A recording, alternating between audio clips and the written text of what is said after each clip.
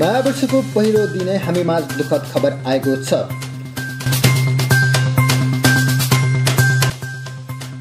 सोलुखुम्बु लुक्ला एयरपोर्टमा हवाई जहाज र हेलिकप्टर ठोकिँदा मृतक हुनेको सङ्ख्या तिन पुगेको छ।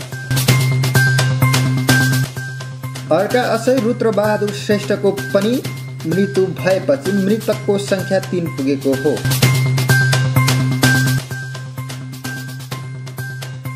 श्रेष्ठको काठमाडौँ ल्याउने क्रममा मृत्यु भएको प्रहरीले बताएको छ।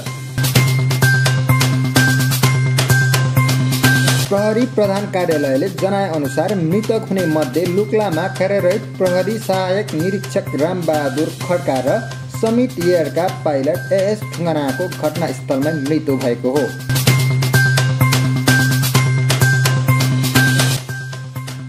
लुक्ला विमानस्थलमा कार्यरत प्रहरी सहायक निरीक्षक रुद्रबहादुर श्रेष्ठ घाइते भई थप उपचारको क्रममा मृत्यु भएको हो।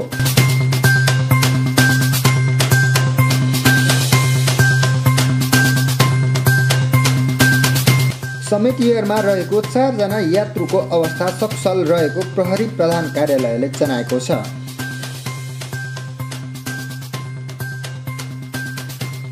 दुर्घटनामा समेत एयरका क्याप्टेन आरबी रोकैया मनाङ एयरका घाइते भएका छन्। उनीहरूलाई उपचारको क्रममा काठमाडौँ ल्याइएको छ।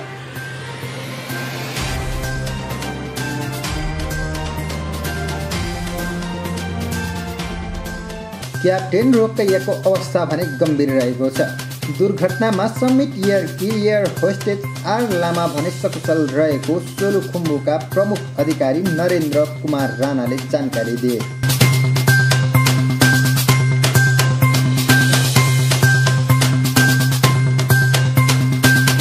प्रदीप राणाको अनुसार आइतबार बिहान समिट एयरको हवाईजहाज उठ्ने क्रममा पार्किङ गरिएको मनाङ एयरको हेलिकप्टरसँग ठोकिएको थियो।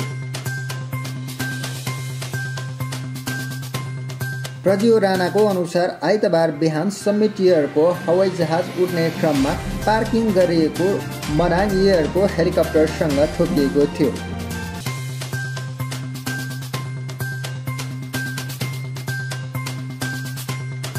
हवाईजहाज चिप्लेर अनियन्त्रित भए हेलिप्याडसँग ठोकिएको प्रारम्भिक रिपोर्ट आएको छ। प्रज्वल राणाको भनाइ थियो।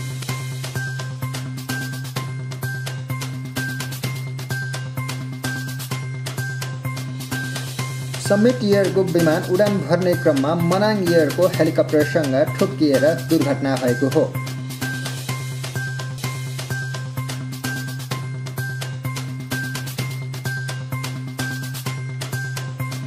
आइतबार बिहान समिट एयरपोर्टको नाइन एनएएमएस विमान मनाङ एयरको हेलिकप्टर नाइन एनएएलसीसँग ठोकिएको हो।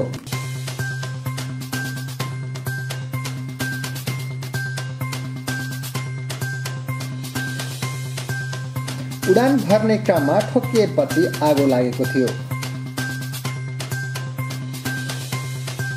हेलिकप्टरको पाइलट सिबी गुरुङको उद्धार गरिएको जनाइएको छ।